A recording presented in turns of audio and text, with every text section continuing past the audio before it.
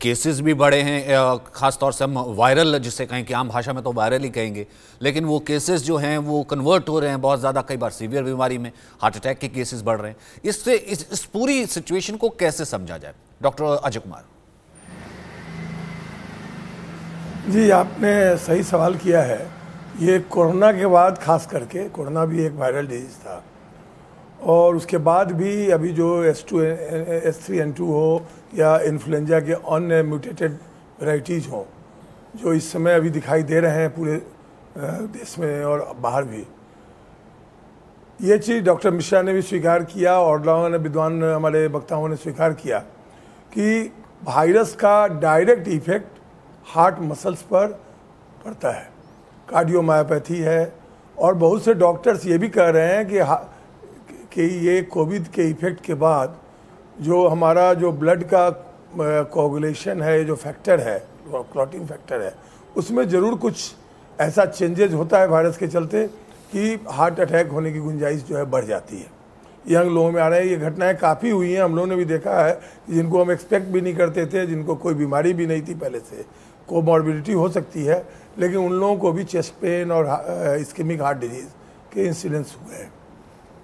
तो इसको बिल्कुल अभी भले ही ये ये रेशनलाइज नहीं हुआ हो ये सिद्धांत, लेकिन ये तय है कि कोविड का इफ़ेक्ट अन्य सिस्टम्स के अलावा के साथ साथ हार्ट पर भी होता है। और ये कार्डियक अरेस्ट और कार्डियक अरेस्ट अथवा हार्ट अटैक हो सकता है। दूसरी बात जो हमारे अन्य विद्वान लोगों ने कहा और आपने सवाल उठाया कि लोग अचानक मर जाते हैं यंग लोग, ये सही डॉक्टरों ने उठाया इस बात को। कि ये पहले हम लोग को फ़र्क करना होगा कि हार्ट अटैक है ये या कार्डियक अरेस्ट है। कार्डियक अरेस्ट किसी भी उम्र में हो सकता है और इसका इंसिडेंस भी काफ़ी है। और सडन कार्डियक डेथ जो है वो हार्ट अटैक के कारण अगर है तो उसमें भी कार्डियक अरेस्ट एक फैक्टर है। हम्म, लेकिन कार्डियक अरेस्ट हार्ट अटैक के अलावा बहुत से कारणों से इलेक्ट्रिकल कारणों से और भी कारणों से हो सकता है ये कंजेनाइटल कारणों से। तो ऐसे केसेस जो होते हैं उनको उनको बचाया जा सकता है। हम्म। उनमें से केवल एक सीपीआर की ट्रेनिंग अगर लोगों को हो आम लोगों को हो जो बहुत 10 मिनट में हर आदमी को सीपीआर का बहुत सा वेरिड भर्सन है उसको बताया जा सकता है और लोग सीख सकते हैं और उसको कर सकते हैं। क्वालिटी सीपीआर उसी ढंग से अगर इस देश में जो बहुत बड़ा प्रॉब्लम चूँकि मैं सीपीआर बहुत ज़्यादा लोगों के बीच में ट्रेनिंग दिया हूँ बिहार में और जगह तो मैंने देखा इस चीज़ को कि कहीं भी ए मशीन e नहीं है।